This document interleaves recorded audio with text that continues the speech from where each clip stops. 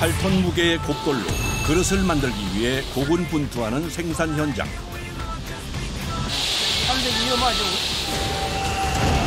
쉴 틈도 없이 계속되는 연마 작업. 기계가 사람을 지키는 것 같은 그런 느낌. 지치고 힘들어도 가족이 이 일을 계속할 수밖에 없는 이유. 이 일을 이어가지 않으면 이 일이 없어지거든요. 1초라도 방심하는 순간 사고로 이어지는 칼갈이. 개인 정도 만약 손가락이 날아가요. 잘려서. 자식이 대를 잇는 것도 반대할 만큼 위험하고 고된 대장간 일. 얼마나 힘든지 얼마나 경쟁이 치열한지 내가 잘 알잖아. 백년 가업을 잇는다는 자부심으로 힘든 시간을 이겨냅니다. 아무나 할 수 없는 일이잖아요. 대장간 일과 이 연마라는 일 자체가. 수제 액자의 명맥을 잇기 위해 종일 손에서 나무를 놓지 않는 사람들. 할 때 한번 집중해서 해야 돼서 진이 좀 빠지는 작업일 수도 있죠. 하원형부터 사각형 액자까지 작품을 돋보이게 하는 고난도의 작업은 계속됩니다. 처음부터 끝까지 이제 수제작으로 만든다 이런 거에 대한 자부심을 가지게 된 게 좀 크지 않나 싶습니다. 명맥을 잇기 위해 인고의 땀방울을 흘리는 사람들을 만나봅니다.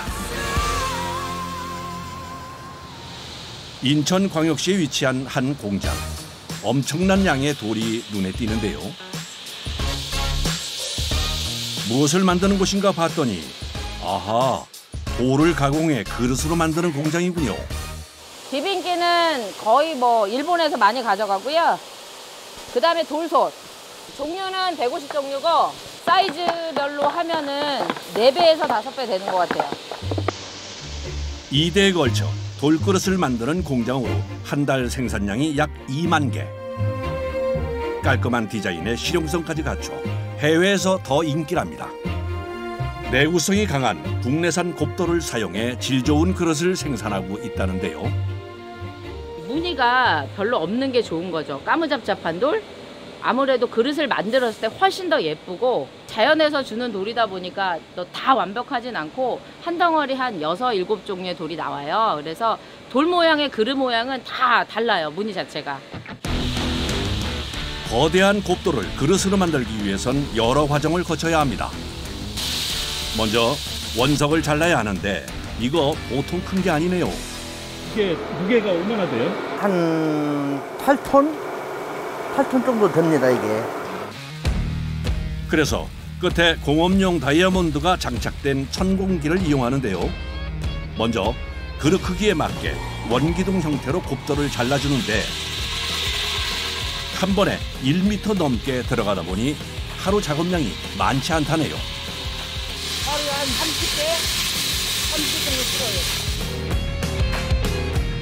고속으로 회전해 뚫는 방식으로 계속 옆에서 살펴보며 작업 위치 조정을 해줘야 하는데요. 그래서 종일 진동과 소음도 견뎌야 합니다. 이 소리가 엄청 시끄러운데 귀 안 아프세요? 맨 처음에는 아팠는데 지금은 괜찮습니다. 힘든 점은 이뿐만이 아닙니다. 앞치마를 했던가? 그래서 여기 딸려 들어갔을 때 큰일 나니까. 그래서 내가 앞치마를 안, 입, 안 입어요, 사실은.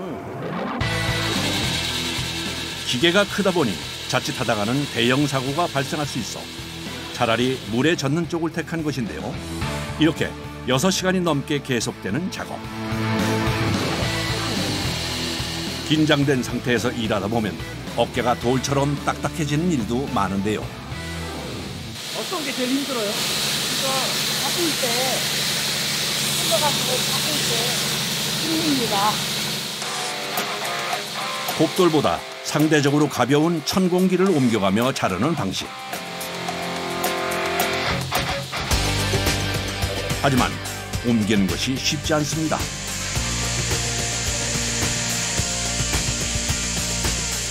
그래도 곱돌을 최대한 활용하려면 감내해야 합니다. 아끼는 거예요. 그러면 남아있는 거는 옆에를 꽉 쳐야 돼야, 그래야 마무리되는 거예요. 천공기 길이상 곱돌 바닥까지는 뚫지 못해서 마무리는 사람의 손을 거쳐야 하는데요. 뛰면은 여기까지 딱 밑에까지 똑 떨어져요 이게. 이 작업이 끝나도 작업자는 쉬지 못합니다. 이제 지게차로 올려야 되니까 이제 잠깐. 지체 없이 지게차를 가지고 공장 내부로 향하는 작업자. 원석에서 자른 돌을 빼내야 하는데 지게차보다 무게가 많이 나가 그만 뒷바퀴가 들려버립니다. 위험한 상황이 발생할 수 있지만 노련하게 작업을 이어갑니다. 못 들어요. 10톤, 8톤 이렇게 되는데 자꾸 나갈 수가 없습니다. 어거지로 갖고 가 들어가서 딱 반드시 보여가지고 작업을 합니다. 상당히 위험하죠. 그러니까 항상 주의를 살피고 일- 일을 하죠. 반복해서 곱돌 밑을 살짝살짝 들어 안전하게 넘길 각도를 찾습니다. 하지만 지게차 운전 20년 차 베테랑도 쉽지 않은 일. 긴장의 끈을 놓지 못합니다.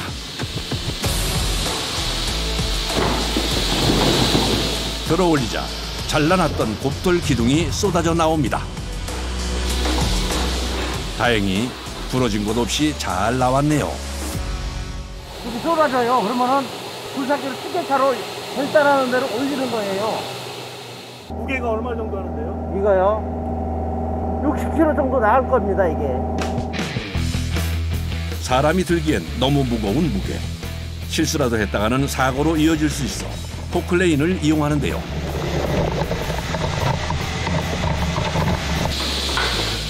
조심조심 하나씩 집어 옮깁니다. 거의 한 40분 걸리죠? 빨리 해야 자동기계 쪽으로 또 가야 되니까. 다시 원기둥 모양의 곱돌을 돌 절단기를 이용해 여러 개로 잘라주는데요. 같은 종류의 그릇으로 만들기 때문에 규격대로 자르는 것이 중요합니다. 분량이 나오지 않게 수시로 꼼꼼하게 체크하는데요.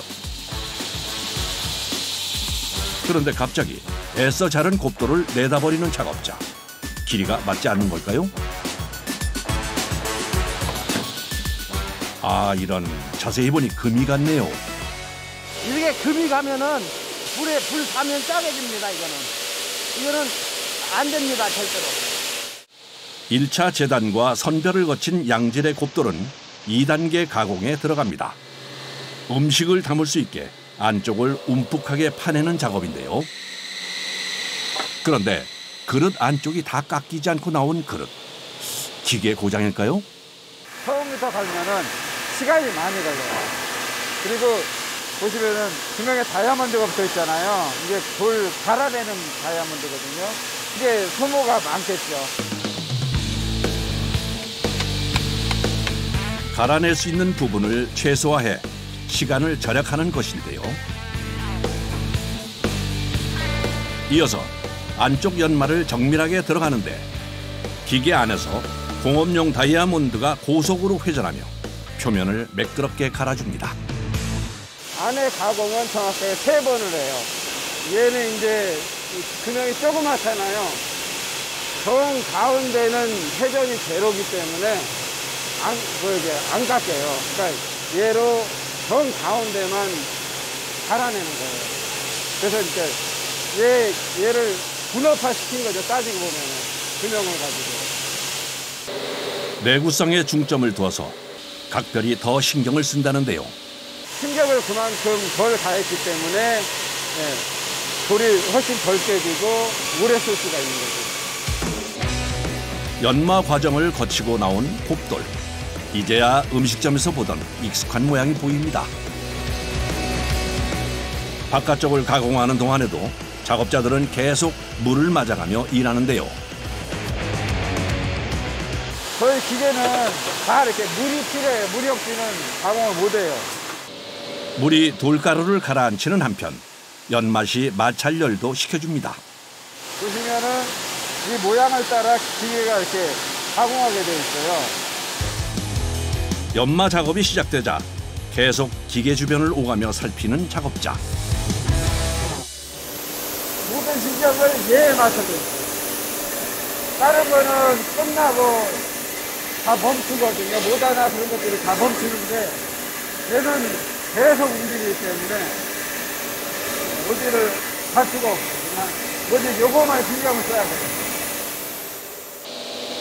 그래서 육체적 정신적으로 피로도가 높은데요.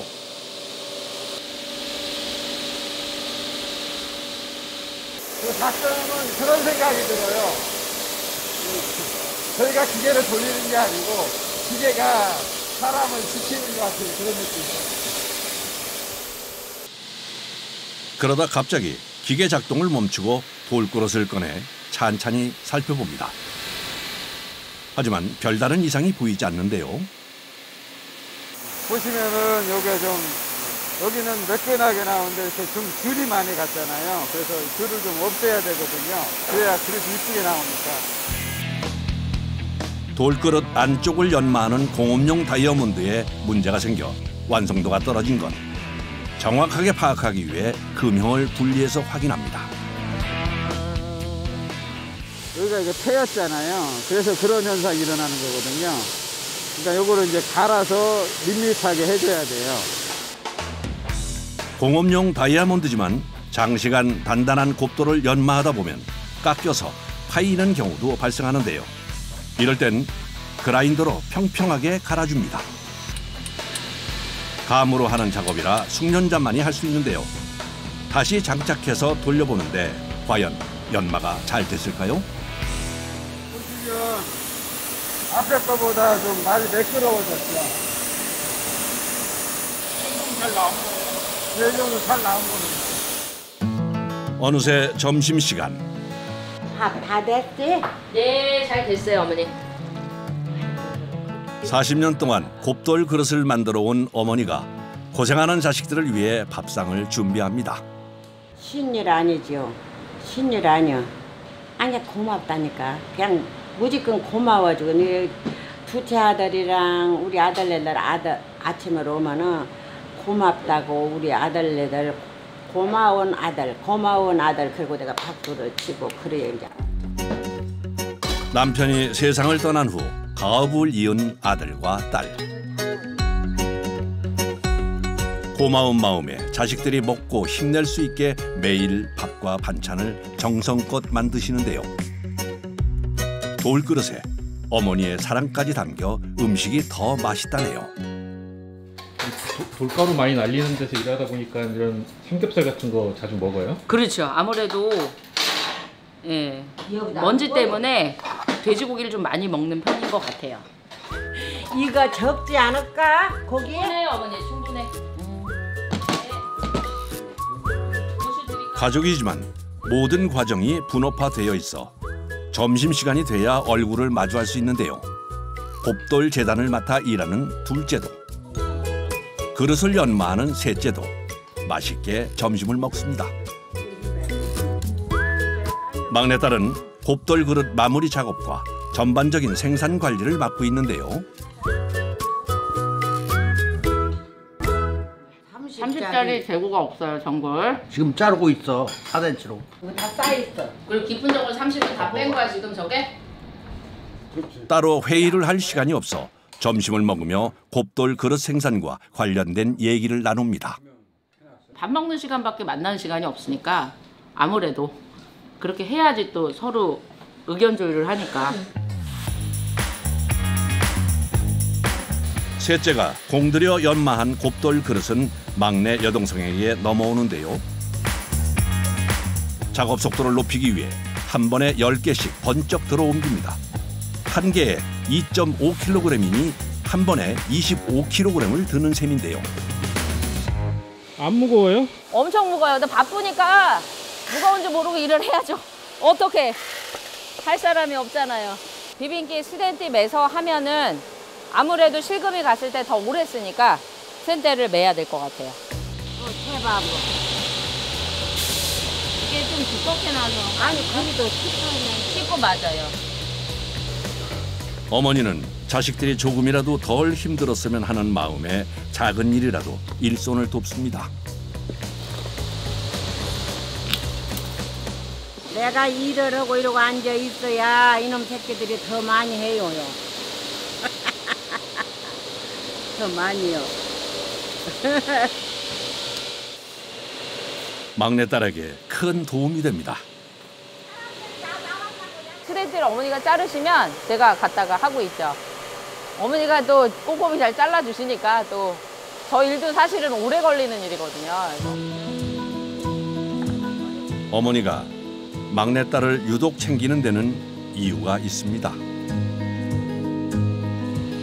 아버지가 돌아가신 후 혼자 되신 어머니를 위해 직업을 버리고 이 일로 뛰어들었기 때문인데요. 원래는 이제 작곡 전공을 해서 애들 피아노를 가르쳤었죠. 사실은 힘들어서 안 해보려고 열심히 도망 다녔죠. 안 할 수 있으면 좀 안 했으면 좋겠다. 사실은 되게 여자로서 키가 작으니까 힘들죠. 근데 어머니도 하시니까 제가 해야죠. 부모님에 이어 곱돌 그릇을 만드는 삼남매. 힘들고 고된 일이지만 포기하지 않고 이어가는 이유가 있답니다. 다른 사람들이 힘들어서 이 일을 하려고 하질 않아요. 그러니까 저희가 이 일을 이어받지 않으면 이 일이 없어지거든요. 좀 100년 정도 3대, 4대 걸쳐서 할 수 있는 어떤 그런 어, 이미지가 좋은 공장으로 남고 싶습니다.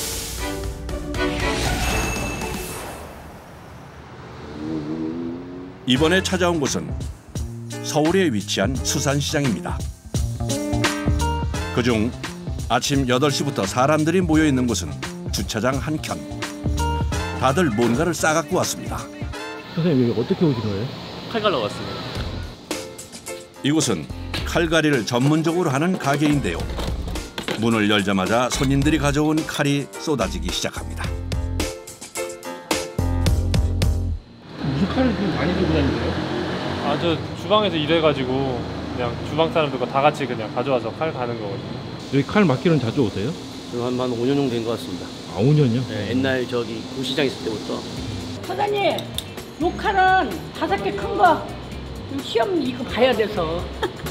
칼날 상태 확인과 함께 접수가 이루어지는데요. 이것도 새 칼이다. 이거 하나만 가르셨던 거네요. 나머지 다새 칼이고. 요거, 요거 두 개를 잘 갈아줘야 돼요.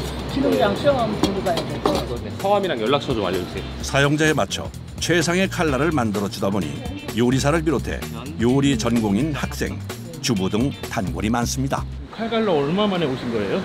아버지 때부터 단골이었거든요.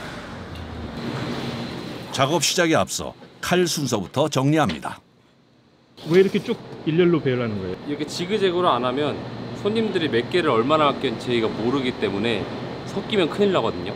그래가지고 이렇게 지그재그로 순서대로 놓는 거예요. 아 이게 다 오늘 작업할 네, 칼들이에요? 네, 네. 오늘 작업할 칼들. 이게 다예요? 아니요, 이제 앞으로도 계속 쌓일 거예요. 무뎌진 칼날을 날카롭게 세우기 위해선 상당한 기술이 필요합니다.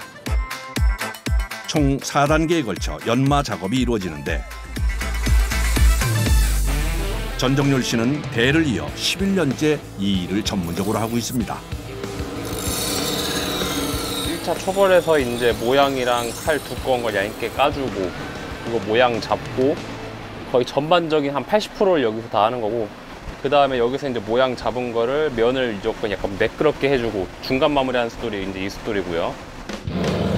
1단계에서 칼의 형태, 날의 모양, 두께, 각도를 잡았다면 두 번째 단계에서는 곱게 다듬어 줍니다. 남은 단계에서는 칼날을 세우는 데 집중하는데요. 여기까지 숫도를 쓰는 거고 여기는 이제 섬유예요. 이거는 이제 삼이라고 하는 이제 수건 원재료에 들어가는 이제 재료고 이거는 이제 청바지 원단. 이거를 이제 우리 뭐 치약 발라서 하듯이 연마제를 이렇게 발라가지고 이제 마무리로 터는 거죠. 3단계 재벌 연마와 4단계 마무리 연마를 통해 칼에 붙어 있는 미세한 철가루를 섬유로 털어내며 날을 세우는 방식인데요. 거의 그건 닦아준다는 느낌이네요. 아니요, 이게 제일 중요해요. 여기서 거의 칼이 칼날이 100% 서요. 여기서 잘 안 되면 다시 해야 돼요. 처음부터는 아니고 이제 될 때까지 이 마무리만 계속 또 털어줘야 돼요. 지금 딱 2단계만 했을 때 칼 날 상태예요. 2단계만 했을 때 날 상태. 전종열 씨의 세심한 손길 아래 3단계, 4단계 연마 과정을 거친 칼날. 어떻게 변할지 기대가 되는데요. 마무리했을 때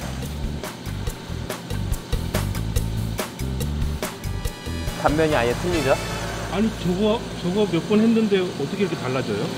그게 절에서 이제 이게 제가 사람을 못 쓰는 이유예요 이게 알려줘도 못 하거든요 이거는 보기엔 간단해 보이지만 칼날을 세우는 일은 체력과 정교한 손기술 그리고 집중력까지 갖춰야 합니다.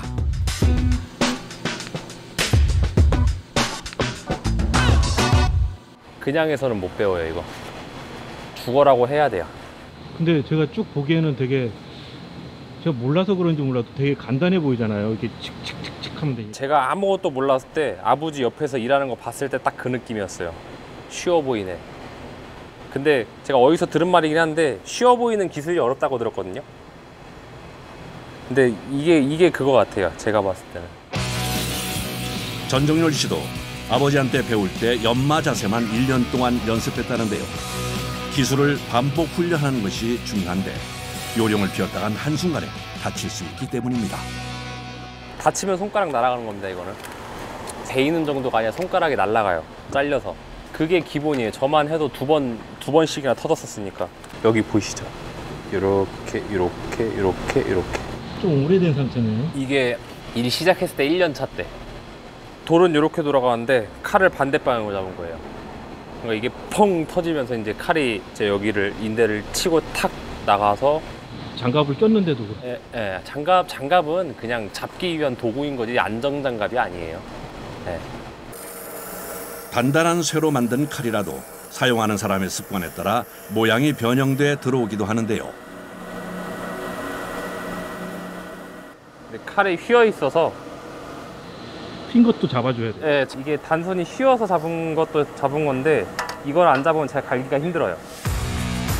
휘어진 부분을 정확하게 파악한 후 칼날이 부러지지 않게 망치로 힘을 조절해서 똑바르게 펴줍니다.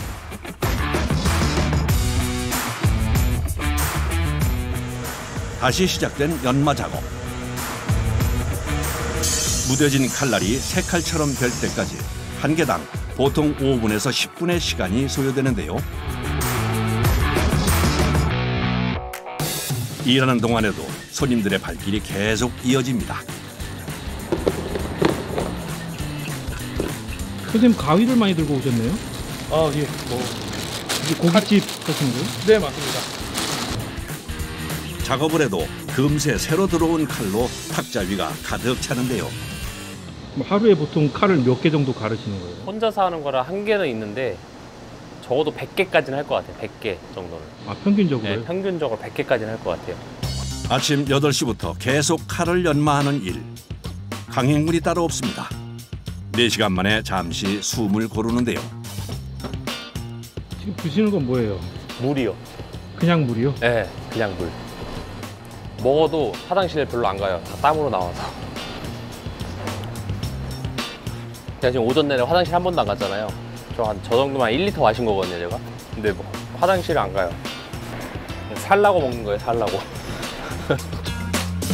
자신의 손에 들어온 칼은 무슨 일이 있어도 시간 안에 나를 바짝 세워야 하는데요. 이렇게 일하다 보면 어느새 색가루와 땀으로 뒤범벅됩니다.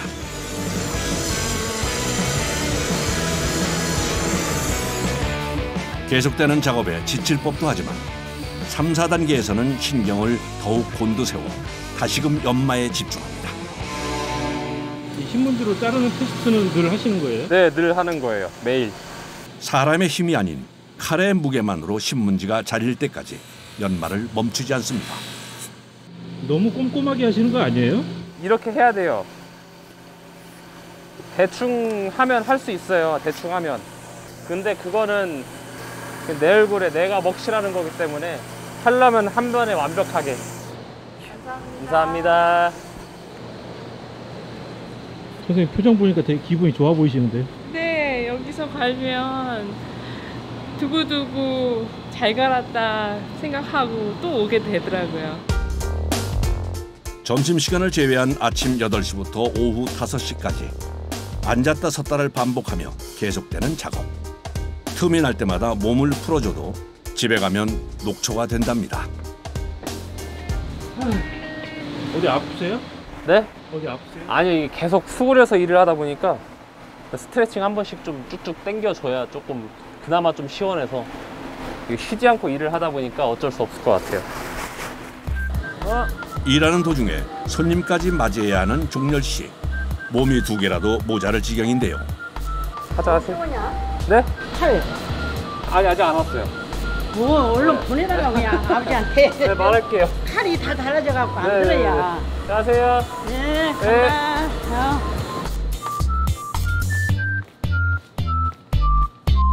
어. 어디다 갖다 달라 그러는 거예요? 아, 이제 아버지가 저 공장에서 만들잖아 지금. 아 대장간에서요? 대장간에서. 음. 그러고 이제 보내줘야 하는데 요즘 안 와서. 아버지의 뒤를 이을 사람이 없자 사육사를 꿈꾸던 종렬 씨가 가업을 이은 건데요. 아버지가 한 10년 가까이 하고 제가 지금 맡아서 한 지는 한, 한 6년 정도 된 것 같아요. 그래도 손님 중에 아버님 기억하신 분들이 꽤 많죠. 계시네요. 예, 아직도 많아요. 제가 여기서 지금 7년째, 7년, 그러니까 11년째 하고 있기는 한데 저 혼자 한 지는 6년밖에 안 됐는데 아직도 찾으시는 분들 많아요. 그래서 종렬 씨는 지금도 노력을 게을리하지 않습니다. 오늘 일 끝난 거예요? 네, 오늘 끝났어요. 오늘은 끝났고 여기 마무리하고 내일은 이제 대전 공장 내려가서 아버지 좀 뵈려고 해요. 다음 날 종렬 씨를 따라 대전에 있는 대장간을 찾았습니다. 아버지는 이른이 가까운 나이에도 대장장이로 맹활약 중이신데요. 우리 할아버지 때부터 쭉 배운 거죠. 어, 최소한 들어서 100년은 넘었죠. 가업의 경쟁력을 높이기 위해 칼을 전문적으로 생산하고 있답니다. 요 칼은 이제 전통 조선 칼. 왜 다들 이제 대, 장금 칼, 대장금 칼 하죠. 이게 전통 조선 칼이라는 거예요. 요즘 보기 드문 망치로 두들겨서 만든 칼인데요. 만든. 요거는 이제 그 생선 포도 뜨고 이제 생선 어 이렇게 분해 작업할 때 오롯이도 하고 그럴 때 쓰는 칼. 칼을 만들기 위해선 먼저 불에 달군 쇳덩이를 해머로 두들겨서 모양을 잡아갑니다. 칼자루를 박아야 될 거 아니에요. 칼자루에 들어갈 수 있는 쓴배를 만드는 거예요. 쓴배? 호미 쓴배, 칼 쓴배, 낫 쓴배, 쓴배라는 거예요. 특히 해머의 움직임에 맞춰 쇳덩이를 균일하면서 얇게 펴는 작업은 오랜 경험과 노하우 없이는 불가능하죠. 신기하죠. 볼 때마다 신기하죠. 이게 한두 번 머리로다가 배운다고 해서 배워지는 게 아니거든. 수년 동안 계속 반복적인 연습에 의해서만 떨어야 되는 거예요. 이게 대장간이 자꾸 없어지는 게 그런 이유예요. 대장간을 지키고 싶은 아버지의 마음을 누구보다 잘 아는 종렬 씨. 그래서 시간이 날 때마다 내려와서 배우고 있는데요. 이게 안 되는 이유가 뭐냐면은 여기에서 그냥 자동으로 나가야 되는데 손에 힘을 막 억지로 잡아 틀기 때문에 안 되는 거예요. 이게 말이 쉽지. 하는 사람은 참 힘들어. 한 번만 어떻게 감 잡으면 좀 잘 나올 것 같은데도 이게 가닥이 안 잡혀갖고 조금 칼 아빠 수억 개 잘른 아빠하고 이제 에, 몇백 개? 나한 너하고 어떻게 갔냐? 같으면 이상한 거죠. 40, 40년 한 사람이랑 이제 10년 한 사람이랑 뭐가 똑같으면 그게 이상한 거 아니에요? 먼저 이 칼 등에 라인을 본단 말이야. 보고 난 다음에 조금 어, 덜, 조금 덜 힘내서 톡. 하나도 놓치지 않기 위해 집중합니다. 노량진에서 봤을 때 완전 specialist 네. 여기 오면 그냥 간난쟁이 애기예요, 애기. 작업하는 내내 열기와 싸워야 하는 것이 대장장이의 숙명. 54년째 하는 일이지만 열기는 이길 수가 없습니다. 불 앞에서 살이 익어 있잖아. 땀은 안 나지만 이거 있단 말이야. 그러니까 찬물로도 한번 마사지 해주면 좋아. 어려웠던 시절 10대 중반에 가업으로 물려받아 돈도 많이 벌었지만 아들이 이 일을 잇는 건 반대했다는데요.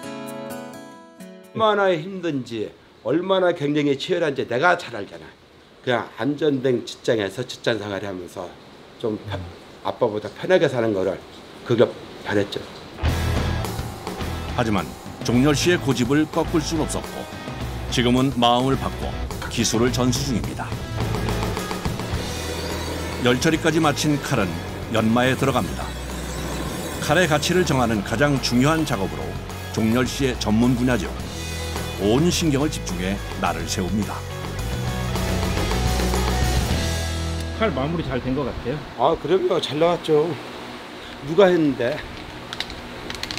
마무리를 아들의 직접 손수했는데 잘못되면 노란쟁이 가게 문 닫아야지. 가야지 문 닫고 문 닫아야지 10년 하고 인정 못 받으면 접어야지 아버지이기 이전에 54년 동안 대장장이로 일해온 장인에게 인정받았기에 자부심과 기쁨이 클 수밖에 없는데요. 제 나이 또래에서 이런 일을 하시는 분들도 별로 없고 그리고 가업이라는 거 있는 것 자체가 정말 좋은 것 같아요. 이게 왜냐면 아무나 할 수 없는 일이잖아요. 대장간 일과 이 연마라는 일 자체가. 그리고 이 일 하는 것 자체가 자부심을 가지고 일을 할 수밖에 없는 구조예요 그리고 또 배우다 보면 자부심이 생길 수밖에 없고 그리고 또 자부심을 가지고 일을 해야 일을 되게 오랫동안 꾸준하게 할 수 있는 것 같아요 이번에 명맥을 잇는 사람들을 찾아온 곳은 서울 인사동 골목에 위치한 가게입니다.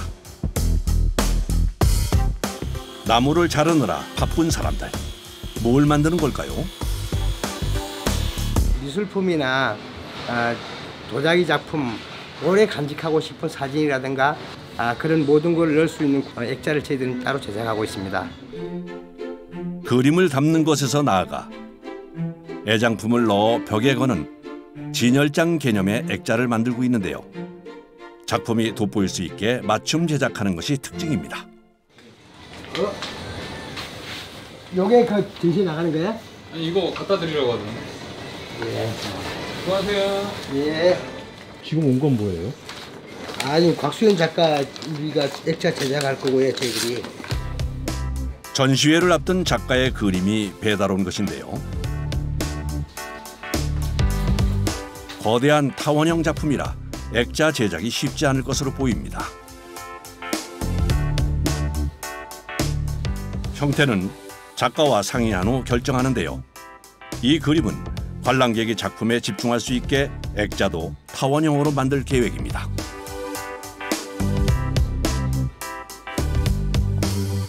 타원형을 만들기 위해서 어, 높은 부분 숫자입니다. 액자가 이 구조로 만들어졌을 때 높은 부분 숫자.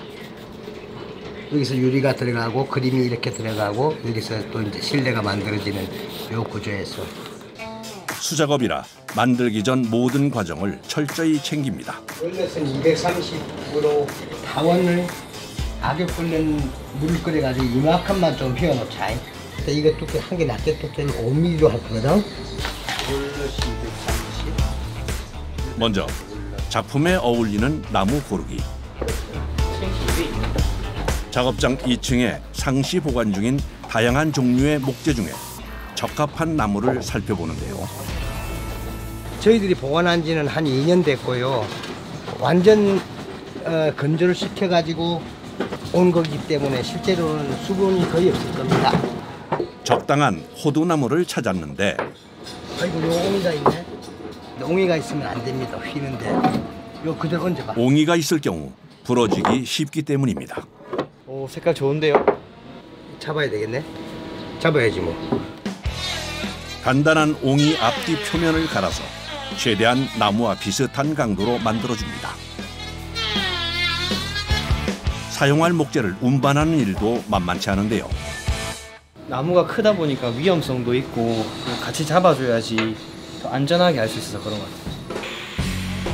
타원형 액자를 떠올리면 나무를 통째로 깎아 만들 것 같지만 이곳에서는 고난도의 방법으로 작업합니다. 나무를 얇게 잘라서 겹쳐서 사용하는데 이거 시작부터 쉽지 않네요.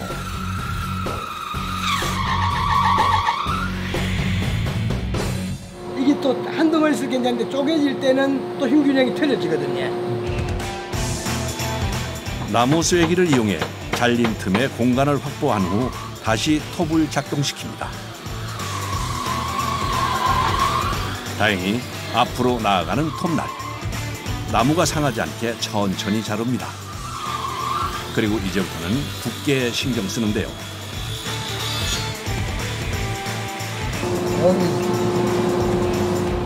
이제 나눠서 한 덩어리가 될 수 있게 얇게 따내는 겁니다. 얇아질수록 유연해지는 나무의 성질을 이용해 타원형을 만들 계획인데요. 그러려면 2m가 넘으면서 두께는 얇게 가공한 나무 10개가 필요한 상황. 계속 나무 상태를 확인해야 하기 때문에 맨손으로 작업합니다. 손에서 미끄러져도 문제고 회전하는 건 장갑이 물리게 되면 알고 들어갑니다. 35년간 수작업을 고집하다 보니 어느새 엄지에 생긴 굳은 살. 누구에게 배우지 않고 스스로 액자를 제작하는 기술을 연구하며 얻게 된 일종의 훈장인데요. 재단이 끝난 나무는 본격적으로 타원형 액자 틀 만들기에 돌입합니다. 아, 얇을 때는 휠수 있는 걸 이용해서 어, 만들어지는데 임기현 씨가 오랜 연구 끝에 찾아낸 방법인데요. 이 나무에 바로 부어. 그래야 돼. 계속 부으면 돼. 넘쳐도 돼. 조금만 더. 됐다. 아, 이 나무를 숨을 죽여가지고 각을 더 휠 수 있게 하기 위해서. 나무 숨을 죽여 쉽게 휘어지더라도 한순간에 부러질 수도 있기에 상태를 확인하면서 천천히 힘을 주는 것이 중요한데요. 알파벳 U자 모양으로 휘어지면 고무줄로 고정시켜 그대로 건조합니다. 자, 이 정도면 충분하지. 이래가 말리게 되면 이걸 오히려 더 펴면서 할 수가 있거든요. 이 각보다 지금 더 작으니까. 자, 이 불안한 건 여기 옹이 있는 거네. 아, 옹이가 있을 경우 더 부러지기 쉽기 때문인데요. 걱정은 잠시 뒤로 하고 남은 나무를 똑같이 만드는 일에 전념합니다. 정해진 틀이 있는 게 아니라 작품에 맞게 매번 새롭게 만들다 보니 한 개를 제작하는데 시간이 오래 걸릴 수밖에 없는데요.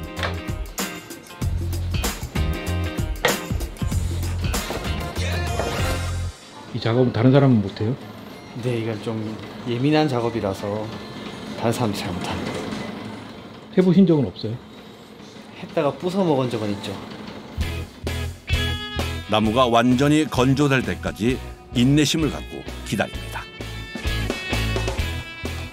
다 마른 거예요, 선생님? 예. 순간 접착제 경화기 그 경화제가 그 수분이거든요. 그러니까 조정하기도 전에 붙어버립니다. 물기가 있을 때는. 휘어진 나무를 그림 모양대로 재단한 밑판에 맞추면 타원형 액자 테두리가 되는데요. 미리 곡선 형태로 만들어 놓은 효과를 톡톡히 봅니다. 한번 쫙. 이미 휘어 있어서 힘이 덜 들겠네요. 그렇죠. 작은 각은 이렇게 해야 됩니다. 바짝 당겨. 나무가 서로 만나는 지점을 압착시키는 도구로 고정시켜 줍니다. 이어 바깥쪽에 나무를 덧대 보강한 후 순간 접착제를 발라주는데요. 길이가 변하지 않는 이상 형태가 유지되는 성질을 이용해 겹쳐 만듭니다.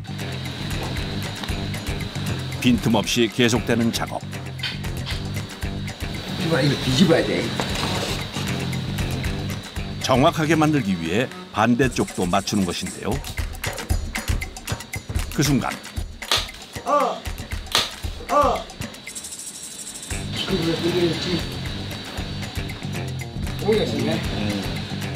완전히 부러진 나무.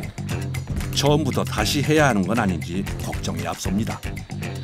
됐어. 괜찮습니다. 저 안에 또 하나가 들어가니까 한 개 두 겹이 만나기 때문에.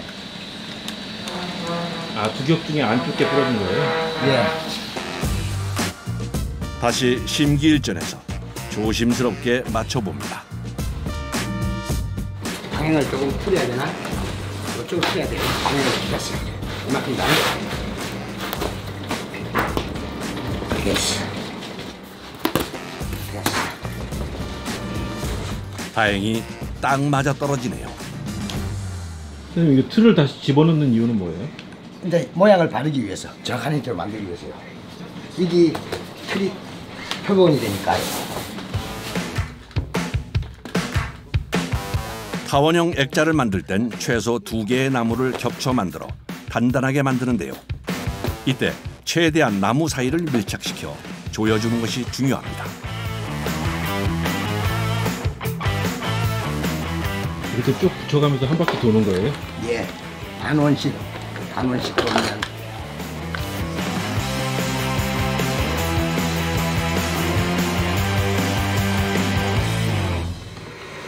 이 방법을 개발하기 전까지 전혀 다른 방식으로 원형 액자를 만들었는데요. 품도 많이 들고 시간도 더 오래 걸려서 현재 방식으로 바꿨답니다. 이거는 끝과 끝점이 중, 가운데가 물질이 없이 비어 있지만 장력으로 붙이게 되면 꽉 채워지고 다른 힘들이 만나서 한개 형태가 되기 때문에 변형이 거의 없다고 봐야죠. 얼핏 보면 완성 같지만 아직 남은 단계가 있습니다.